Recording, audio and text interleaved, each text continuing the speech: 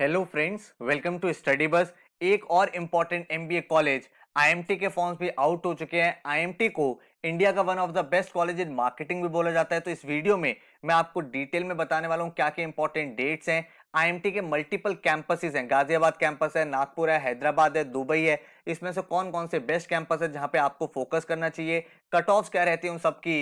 इसके साथ ही कौन कौन से एग्ज़ाम एक्सेप्ट होंगे? प्लेसमेंट सिनेरियो क्या चल रहा है?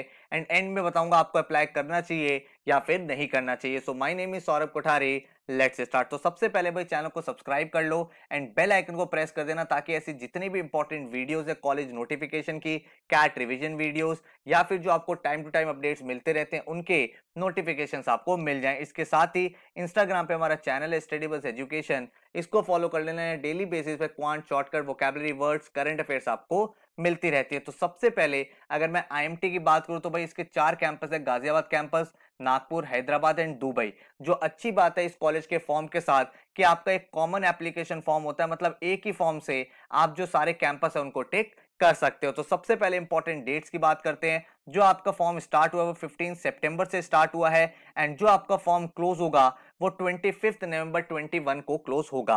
अब आपको यहाँ पे ये समझना है कि जो प्रीवियस ईयर्स का डेटा है, उसके अकॉर्डिंग मैं आपको बता रहा हूँ कि आईएमटी के जो फॉर्म्स है, वो रीओपन भी होते हैं। मतलब जब आपका कैट का रिज़ल्ट आ जाता है तो आईएमटी फिर से फॉर्म को रीओपन कर देता है ताकि और ज़्यादा लोग यहाँ पे अप्लाई कर सके। तो अगर आप वो वाले स्टूडेंट हो जो कैट का रिज़ल्ट आने के बाद कॉलेज में अप्लाई करना चाहते हो तो इस कॉलेज के फॉर्म जनरली ओपन होते हैं, ठीक है? अब अगर मैं बात करूँ उसके बाद क्या चीज़ें हैं तो आईएमटी का जो प्रोसेस है, वो सेकेंड वीक ऑफ़ फेबर से स्टार्ट हो जाता है थर्ड वीक में आपका रिज़ल्ट आ जाएगा, उसके बाद आपका कॉलेज स्टार्ट होगा। देखो, रीओपन वाली जो बात है, ये भाई हर साल होती है। लास्ट चार पाँच सालों से मैं देख रहा हूँ।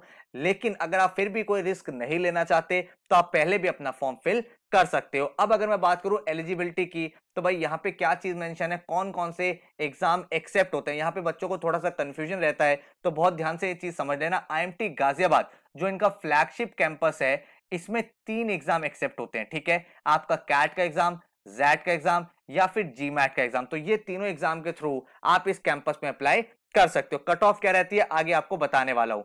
अगर मैं आईएमटी नागपुर और आईएमटी हैदराबाद की बात करूँ तो वहाँ पे कैट जैट जी मैट के साथ सीमैट का जो पेपर होता है, वो भी एक्सेप्ट होता है। तो काफ़ी सारे बच्चों के माइंड में डाउट रहता है। सर अगर मैं सीमैट में 99 परसेंटेज ले आऊँ तो मुझे आईएमटी गाजियाबाद से कॉल आ जाएगी क्या? तो the answer is no because CMAT का जो पेपर है, वो सिर्फ़ आईएमटी नागपुर और हैदराबाद में ही एक्सेप्ट होता है, ठीक है? गाजियाबाद में अगर आपको एडमिशन लेना है तो कैट जैट या जीमैट के थ्रू ही आप एडमिशन ले सकते हो। अब जो सिलेक्शन प्रोसेस होता है, वो क्या होता है? वो आपका भाई कट ऑफ़ स्कोर क्या है, वो देखा जाता है। आपका थोड़ा सा एकेडमिक राउंड भी देखा जाता है। उसके बाद वर्क एक्सपीरियंस कितना है? देखो, इस कॉलेज में फ्रेशर एंड वर्क एक्सपीरियंस दोनों बच्चों को अपॉर्चुनिटी मिलती है तो आप अप्लाई कर सकते हो। और उसके बाद आपके एडमिशन प्रोसेस में कैसा परफॉर्मेंस रहा मतलब आपने इंटरव्यू में कैसे परफॉर्म किया, इन चारों को ऐड कर दिया जाता है। और देन एंड में आपकी एक मेरिट लिस्ट बनती है। अगर मैं सबसे पहले प्लेसमेंट्स की बात करूँ तो भाई इस कॉलेज की प्लेसमेंट क्या रही है? आईएमटी गाजियाबाद की बता रहा हूँ।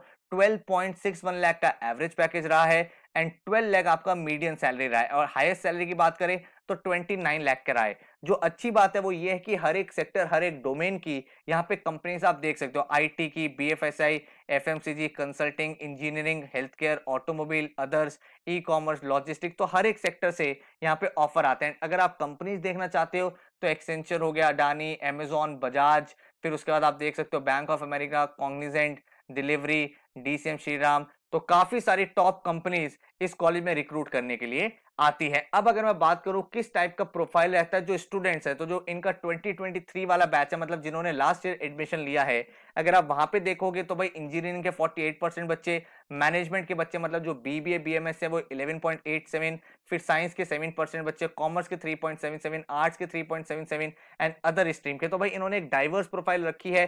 डेफिनेटली इंजीनियर ज़्यादा है बिकॉज़ वो ज़्यादा अप्लाई करते हैं। बट उसके बाद भी आप देख सकते हो अदर स्ट्रीम से भी काफ़ी सारे बच्चे यहाँ पे प्रोफ़ाइल का पार्ट एंड अगर हम वर्क एक्सपीरियंस की बात करें तो भाई ज़ीरो से टू इयर्स का जिनका एक्सपीरियंस है, वो 87 परसेंट बच्चे हैं एंड जिनका टू ईयर से ज़्यादा का एक्सपीरियंस है, वो 13 परसेंट बच्चे हैं। तो अगर आप एक ऐसे स्टूडेंट हो, जो फ्रेशर है या फिर एक दो साल जॉब कर रहे हो तो भाई आप यहाँ पे देख सकते हो आपके पास काफ़ी अच्छी अपॉर्चुनिटी है इस कॉलेज में एडमिशन लेने की। अब अगर मैं कट ऑफ़ की आपके सामने बात करूँ तो सबसे पहले हम आईएमटी गाजियाबाद की कट ऑफ़ समझते हैं। तो अगर मैं आईएमटी गाजियाबाद की बात करूँ तो जो आपकी कट ऑफ़ रहती है, वो अराउंड 90 परसेंटाइल रहती है कैट और जैट में। तो अगर आप कैट और जैट के थ्रू अप्लाई कर रहे हो तो कैट और जैट में आपको 90 परसेंटाइल लाना है तो आपको कॉल आ जाएगी।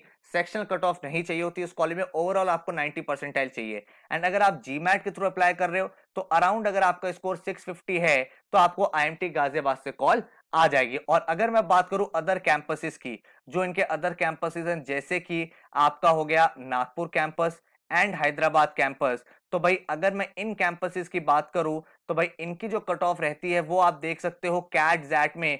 अगर 70 80 है तो आपको कॉल आ जाती है। सीमैट में भी अगर आपका स्कोर है तो आपको यहाँ से कॉल बन जाती है, ठीक है? और अगर आपको इन कैंपसेस की प्लेसमेंट देखनी है, भाई, ये जो कैंपस है, ये कैसा परफॉर्म कर रहे हैं तो मैंने नीचे आपको पूरी की पूरी प्लेसमेंट रिपोर्ट का लिंक दे दिया है। वहाँ पे जाके आप आराम से पूरी प्लेसमेंट देख सकते हो हर एक कैंपस की, ताकि आपको और ज़्यादा आइडिया यहाँ पे लग जाए। लेकिन जो आपका मेन टारगेट होना चाहिए, वो आपका एमटी गाजियाबाद कैंपस होना चाहिए बिकॉज़ भाई, ये इनका फ्लैगशिप कैंपस है। एंड अगर आप अपनी एमबीए मार्केटिंग में करना चाहते हो तो उसके लिए ये एक बहुत ही अच्छा कॉलेज माना जाता है, ठीक है? अब हम बात करते हैं कि सर हमें अप्लाई करना चाहिए कि नहीं करना चाहिए तो मैं आपको बोलूँगा कि भाई आईएमटी में आपको अप्लाई कर देना चाहिए। उसका रीजन क्या है समझो।